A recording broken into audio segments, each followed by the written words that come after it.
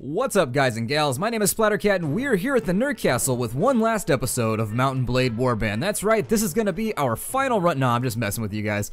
I'm just being a dick right now. I'm feeling jovial. It's the Christmas season. So, anyways, this isn't gonna be our last episode. I just wanted to see you guys fidget and panic a little bit. But that's kind of weird because I can't see you fidget and panic at all unless you link me a YouTube video of you fidgeting and or panicking. Jarl Nudar, in between episodes, so I had told you before that I might handle a little bit of our biz in between episodes. Nudar had summoned us, but alas, he canceled the quest, so I'm guessing he got rolled out on super hard. We need to get back into the fight, and so what I'm calling this is this is Operation Tummy Rubs, because we are still attempting to recover. It has been a long journey, and we still haven't achieved our former glory. We're still kind of running around with a little bit of a scrub force, which is not good. We need to be able to defend our kingdom, so let's head on out this way and I think we're doing okay right now. Let's follow Jarl Gayarth around, or Girth, or whatever the hell his name is. I can never pronounce his name. We'll sort of just keep an eye on him for the moment. And wherever he goes, we shall go too. We'll be like a lost puppy. It looks like he's heading out to... Oh, I don't know. Let me look at my faction reports and figure out who we're fighting with here. With Vaegirs. Okay, well, we're not in too bad a shape. I mean, we've got... Let's have a look at our party composition. We've got a lot of Nord warriors, and we are accumulating veterans. We do have a strong force. It's not all over for us just yet. We've also got a pretty good team. Where'd they go? A Vaegir marksman. So we've got a decent ranged force. We've also got a really good melee infantry force. And so now we need to start thinking about maybe going in opposite directions with our forces. So let's continue upgrading our recruits. I hate going into battle with recruits. They're awful, they smell, they're always crying in the middle of battle, writing those sad letters home to their parents. You gotta get them battle hardened and ready to kill. What's he got? I'm always nervous now about starting off any of these fights. He's got knights, he's got marksmen, but everything else isn't so terrifying. I think we could take him. But he's gonna hide in Ray Reyvadin like a little weeny fussy pants. Never mind then. Wait, who is this? Ooh, Turigor. Is it Tu- What? Isn't Turigor one of our lords? Oh. No! Oh, you don't want to fight now either, huh? Well, let's see what you have first before I give up on this endeavor. Let's see. horsemen, infantry, footmen. Yeah, he's probably dead. No. Well, I didn't want to do that either. You guys are playing shady here. We will fight you to the end. Yeah. Okay, so there is our super badass army, which hopefully will be able to hold its lines. I'm going to deploy here on the opposite side of this hill to force their archers up onto the top. Everyone should be able to take that position without any sort of encumbrance. And then I would really like my archers to be right here. Now, I don't know if he's going to fight this thing classical mode and sort of hang back see if... Yeah, there we go. Get the archers spread out a tad. We've got nothing but marksmen, which I'm really, really happy about. Our marksmen tend to do a lot of damage. Now, there is a debate running about whether you should go with bow archmen, or uh, I'm sorry, archmen, whether you should go with master archers from Vaegirs or whether you should go with Rhodok sharpshooters. Now, undeniably, Rhodok sharpshooters are one of the strongest ranged units in the game. However, their firing speed leaves something to be desired. They do fire pretty quickly, but they can't machine gun at the rate that your marksman can. I mean, the sheer ridiculous amount of fire a marksman can put out, they do a little bit less damage, so it's kind of like using a plinky little Uzi instead of using a sniper rifle. It just sort of depends what you want out of your troops. I'm going to have to rotate my forces over to that side because he is trying to fight this one out classically, which is disappointing. I was hoping we could get this over with quickly. I think I'll also... There we go. I'm going to move my archers too. Hopefully we start seeing some casualties along the lines. Boyar Turigor, I need to go handle him, so let's see if I can run him down. Deliver deer, really? That's pretty piss poor. And since we're being skirmished with pretty aggressively, I think this might be the time to send everybody in. You guys know me, I always prefer to make this as efficient as possible. I don't want to end up losing any units. Ooh, and we took an arrow to the arm or the ass. I can't decide which. I, can, I get my anatomy mixed up. Oh, Turigor's off his horse and he's over here fighting with my archers. Okay, well... You serious right now? God. He was over there just causing havoc. Just wreaking all kinds of havoc, which is very different than wreathing havoc. Wreathing havoc is what you do around Christmas time, which I suppose, I don't know if they have Christmas in Calradia. I hope they do. Christmas is pretty awesome. I love this Morning Star. It doesn't knock people out, but it does do a lot of damage, and that's going to be a function of the fact that it uses piercing damage, which pretty much ignores armor for the most part. At least the way that I understand it. So we've won our first battle. This is the first step in Operation Tummy Rubs, and so we're doing pretty well. We lost 10 guys, though. That's disappointing. God, that is a downer. And we didn't even capture the guy. I will take all of his archers. Because we need to sell some guys into slavery, make a little bit of money. We've also got some equipment to move around. We need to start paying attention to inns, too, to make sure that we're getting the proper mileage. I need to get all those units back, basically, that we lost. Since we lost a couple archers... Oh, they're not going to allow me to recruit. All right. Well, I'm going to have to wait till we're not at war with them anymore. We may have to fill in with Nord archers for a little bit, which will be lackluster, to say the least. Good, as I had hoped. That is going to, while we did lose a couple of our little guys, that should allow me to really make a net positive, or at least I hope a net positive. Let's see, we've got, oh, Vaegir Horsemen. Sure, why not? Let's make some horsemen. We've never done any Vaegir horsemen as of right now. I don't remember being too impressed with them as I played through the game, but we'll take a couple of them. What's the worst that could go wrong? They could get killed, and then that's that. So we came out positive, I think, on that. We're a little bit down on troops, but at the same time, we do have a bunch more veterans and a couple more Huscarls as well. We didn't see any of our archery troops bump up to marksmen, which is disappointing, which means we have a loss in our ranged troops. But we'll try and, well, square the circle with that in just a little bit. Let me grab a couple more units from here and we'll allow them to start leveling up while we're fighting.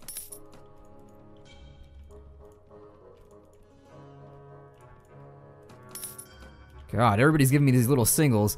Everybody knows how terrible this war is going and nobody wants to get involved anymore. They're like, no, sir. I just want my turnips. That's all they want to do is just stay home and pluck those turnips. Well, sir, you will not pluck turnips. You will pluck the scalps from our foes. You will take them out with raiding. Okay. Now, we've got our force back and replenished. Oh, hey, what's up, guys? I see you rolling. Oh, God. There is a veritable dog pile occurring over at Sargoth. I think, I don't know why you're running right now. We could totally take them. Guys need to stop being weenies. I'm willing to bet that I could take both of those. Well, he's got a lot of Lancers. Maybe not. That guy, oh, he's got a lot of Lancers, too. And Horse Archers. Ew. So, uh, Gerlad, you want to jump in on this thing, or are you just going to, like, let this happen? This encroachment. I'm going to try and cut him off right now. Oh, okay, so he kind of crossed the T right there.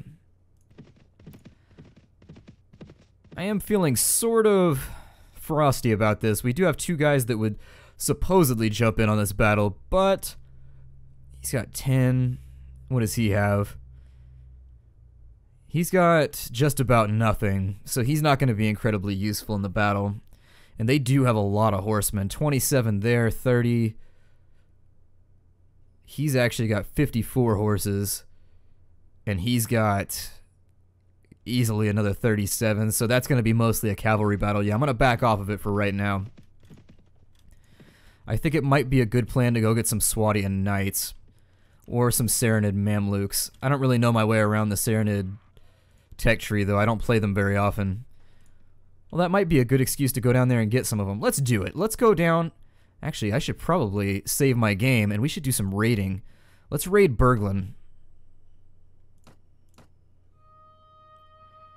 And we'll make a little bit of cash from doing this to help us recover from our last deficit. Once we're back in the black, we should be able to cue the ACDC, get back in there and kick some ass with our newly found discretionary income. Alright, that's exactly what I was looking for. Lots of stuff that my units can't eat. I mean, they'll probably try and stick this stuff in their mouth like babies just to begin with, but once they figure out it burns and it doesn't feel good to chew on velvet or whatever, we should be alright. I'm gonna leave the pork because it goes bad. And I'm also gonna drop some of these helmets because honestly, I would way rather keep some of the other loot. Made a little bit of money there. Let's make our way down to Sarranid territory. That's what I'm gonna do.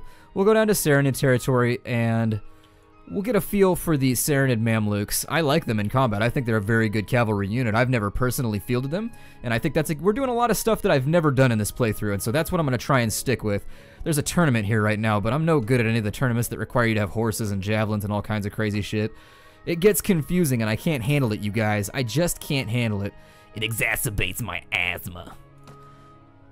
We'll turn that all over. God. Make a little bit of cash. Yeah, just pay whatever you can. I don't really care that much. Is my horse lamed? My horse is okay. Good. Gotta make sure that Wiggle Chicky 2.0 is alright.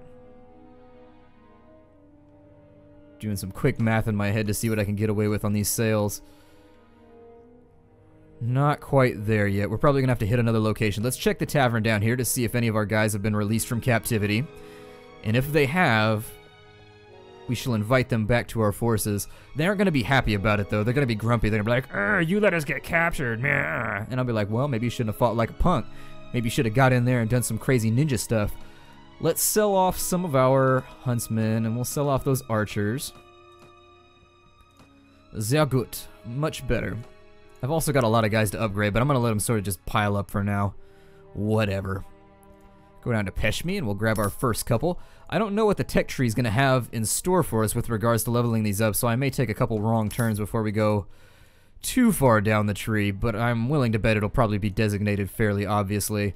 We can't recruit from there for whatever reason, so we'll go down to Shibal Zumr. Nothing there either. What about Tamna? Let me recruit from you. Did we just declare war on them or something and it didn't tell me? No? Why is recruitment locked down? Well, we'll sell off the remainder of our goods here at Durquba.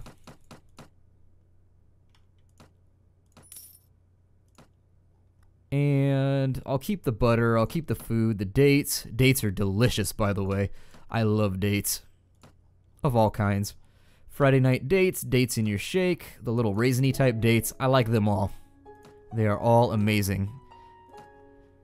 Dates on the calendar too, I suppose. That is a word that has a lot of usages. That thing is getting around. We need a new helmet. I just noticed our helmet is way overdue for an upgrade. I mean, it's got really good armor, which would explain why we haven't upgraded it yet. I don't really want Lamellar. I'm going to stay away from most of the Lamellar gear because it just doesn't tickle my pickle. I just don't like it like that. Lamellar, we can be friends, but beyond that, I don't really want this relationship to go much further. I don't want you on me or in me or anything. Well, let's continue cruising around looking for some friends. This is very weird why they won't let me recruit. Mawiti. I love that city. I've never even been there, but I like the idea of Mawiti. Let's hit Amarad. There's a farmer. Okay. Well, we'll do his quest. What is the matter, my good man? Very well, he's at Mijayet. Let's go check out Mijayet and see if we can help. There it is right there. Let me upgrade my troops before we jump on into the battle. Three new veterans, freshly spawned. I like to think that as I upgrade these, they die, and then just randomly this guy shows up in my camp the next day. Artimenner's got some level ups to go with. We'll deal with him in just a moment. We've replaced one of our marksmen now. And Khergit's skirmishers. Oh, well, was I recruiting from Khergit's? That's weird. I guess the borders have been redrawn. That's disappointing. I'm gonna disband all them because I don't want any Khergits. Kurgis just don't do it for me. I'm gonna split those in half and just do some huntsmen because we do need to continue bolstering our ranged units. And then down to Mijayet to save the townspeople from the desert banditos. Oh, they're forest. That's weird. Why are there forest bandits hanging out here? This looks like an amazing spot for archers, so I'm gonna leave my archers on that hill. Everybody else can join the battle from over this way. Give us a little bit of cover to hide from the enemy arrows, to keep ourselves from being well feathered, or well sticked. Let me get my mace out.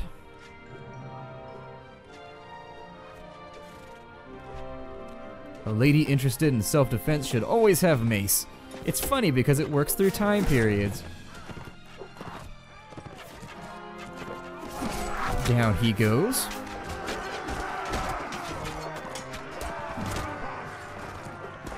Try to point blank me with a bow? What is that?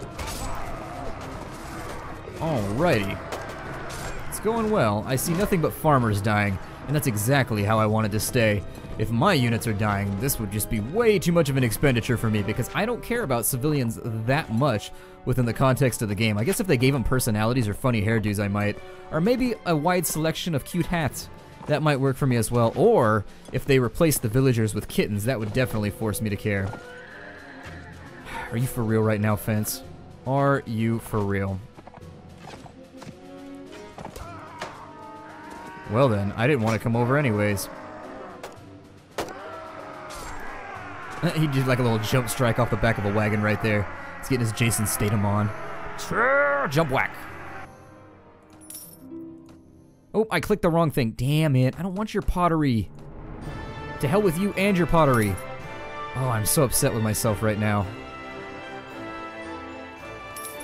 The city of Ab. It's got a great gym membership system. Bad jokes away! Usga! Reminds me of a song from Veggie Tales where they're singing about their lips. Usta. That place is taken over by banditos as well. Well, I suppose I shall free them from their bondage. We're just going to spend our entire episode whacking bandits today. Play Whack-A-Bandit. Never really liked Whack-A-Mole that much. While we're on the subject, going to arcades, I always spent loads of money on Time Crisis now that I think about it. That damned red bullet. That red bullet was a heartbreaker, just causing me all kinds of pain and suffering. No, horsey, wiggle checky, no. Off with his head. Off with his head. Ooh, we just went straight, like, Gladiator on that guy. It's like the beginning of Gladiator where he chops that guy's head off and the sword sticks in the tree. That was a pretty badass moment for me as a kid. I won't try and fade that accomplishment. I was like, I need to go outside right now with a sword and a bike, and I need to do that to somebody right in front of a tree. But then again, maybe I'm just a homicidal maniac. Luckily, my parents didn't keep sharp objects around the house because they knew I was special, so... The idea was not instantly accessible to me. It was something that I would have had to work really hard at. And then I went through that phase when I turned like 20 where I was like, I'm gonna buy a ton of weapons. And so you just buy like loads of medieval weaponry and you have no clue why. And so now I just have an entire closet in my house that's just full of medieval weaponry. I don't use it, I don't take it out, it's just sitting there. The battle is over. We have lost a trained footman. And one of our warriors. That's okay though. Let's get some honor, and we'll get some more Sarranid villagers on our side. Looks like there's a feast at Beggy. Please don't attack me, other lord. I am really just trying to recruit your people to come fight for me. I'm trying to make them... You guys have a lot of bandit problems. Let's clear this place out, too. I'm doing a lot of good deeds for the Sarranid Empire right now. A lot of good deeds. I feel bad for this guy. Oh, I thought this was somebody's house. Like everybody else has those crazy stucco houses. This guy's gotta live in a tent. Unless he's the village tent smith, then it makes sense. He's like sabotaging his own business by living in a house, so he just refuses to do it. Oh, these are mountain bandits. Oh, I don't like where this is going. These guys have javelins. Eh, don't stab me! Hey. Alright. Point well taken. You're tougher than the forest bandits. We get that now. But don't make me bring out the mace. I'm not even sure what's happening right now. I'm sort of just trapped in a battle tent.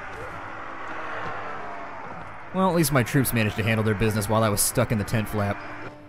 We lost... Oh, we didn't lose anybody. Cool. We shall continue to endeavor to get more honor.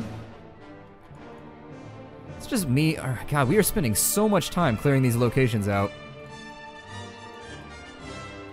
Please note that this will have the opposite effect. While you're clearing villages out of bandits, something to think about is that it makes the lords that own those cities very, very upset with you because they feel like it's their duty to save their citizens or ignore them with impunity. Few more Huskar. You, there we go. We're starting to get a baseline force. We're getting back into it. We're almost there. Operation Tummy Rub is not going so horrifically. Sarranid recruits, you shall now become footmen. I wonder if you have to go the skirmisher route. I bet you go the veteran footman route. I'm not positive on it, but I'm I'm almost sure that nothing terrible is going to happen if we continue upgrading them with regards to their melee combat capabilities. Their capabilities. Let's head on back up to our own territory now. I don't think they're going to give me any more units. Yeah, it seems like there's not a whole lot left for us to do. We might start raiding a bit more, though. I'd like to get a nice little egg, just a nice investment egg going in our back pocket, because it seems like they are on the offensive right now. Let's check Dirham. Dirham is almost siegeable. If we had 100 guys, I would give it a go if most of them were high-tier troops. Let's hit Ushkuru. And once we've got Ushkuru all nice and cleared out, we'll head back up to the north into our own territory. We'll start helping with the defensive actions. I think Sargoth might be lootable too. We may be able to take it back. The fact that we're taking quite a nasty offensive from the Vaegirs right now is going to negatively affect us for the foreseeable future. Oh, we get spices, furs, we can make some crazy Viking-looking armor with lots of furry bits on it. Little feathery, rabbity I don't know. I, am just rambling at this point. Sometimes I just run out. I hit the end of the trail and I'm like, you know what? I should probably stop this right now. I'm just going to start stammering, which is, that seems to be the indicator as to when I've run out of things to say. I actually, I don't stutter, but I start just being like, um, um, well, you see, it's dreadfully, I just, I just don't know. Well, maybe. oh, you just messed up now, homie. Belgaru, you are mine unless you've got a bunch of horsemen, and then you will clearly outrun me. Let's go help Bulba. This may be our last offensive action for the... Oh, he's trying to ride out. He's trying to be hard right now. Okay, I see how it is. Let's do it. Oh, you want to turn around and run. Okay. He thought he was hard until he saw it was coming down the pipe. And this time, instead of me grabbing the pipe, it's going to be you grabbing the pipe, my dear, dear friend.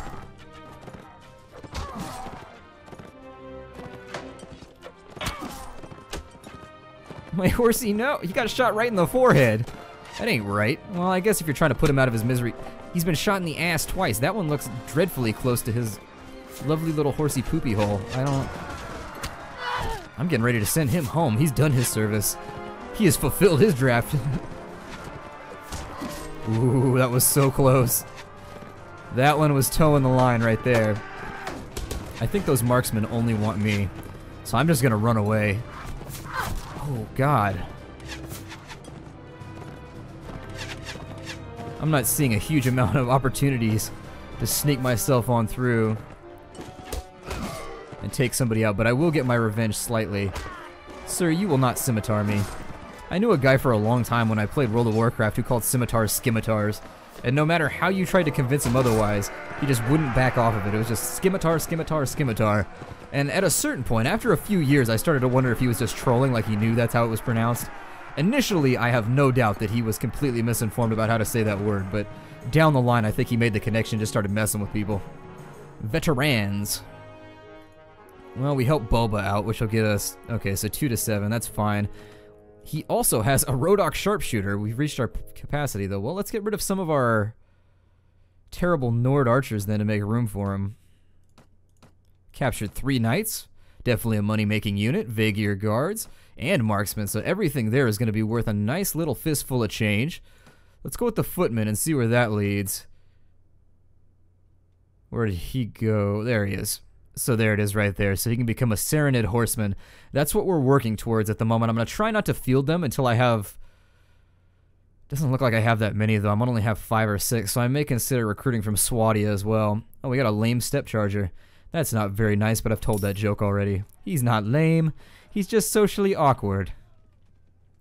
Come on, you guys, leave him alone. And since they're all now plaguing my territory, it looks as though we are running them off, however. Oh, Tanju, you just came out at the wrong time, buddy. Okay, so let's wipe him out. We lucked out, and the enemy didn't join his cause, which was what made me really nervous about all that. Leave the archers right there. And we need to group up quickly because he appears to be making a charge. So let's have our infantry group up. Oh no, horsemen, no! Don't sacrifice yourself, noble horseman!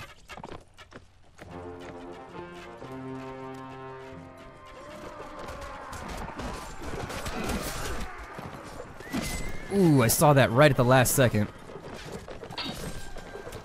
So now, the only course of action for me anyways, is going to be to try and rejoin my lines, although if they're behind me right now, that's not going to be possible.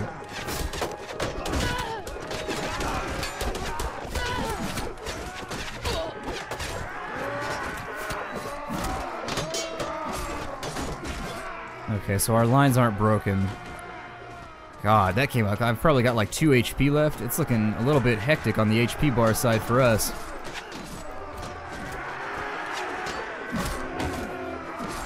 Saw that couched lance because it's nighttime. I saw it just one second too late. Hopefully that didn't kill my horse. I, am to be very, very irritated if I have to go buy a new horse now. These archers are not doing me as much good as I was hoping they would do. That battle was looking bad down in the text, but maybe it didn't turn out as terribly as I think it did. Six men down, only wounded. Okay, nowhere near as bad as I thought it was.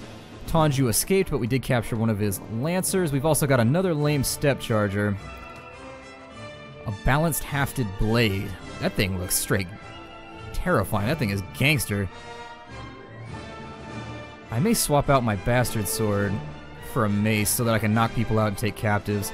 We'll take the hafted blade, I suppose, as well. That's like the most generic name ever, a hafted blade. It literally is what its name is. How rare do, how rarely does that happen with regards to naming things? That guy's gonna try and run me down. And so I'm gonna dodge him. We're gonna break off the episode here, and then we'll figure out our machinations for Sargoth in the next episode. I'm not really at the point with Nords where I can convince anybody to follow me around. Ooh, we'll jump in on this bat. Oh no, maybe we won't. Well.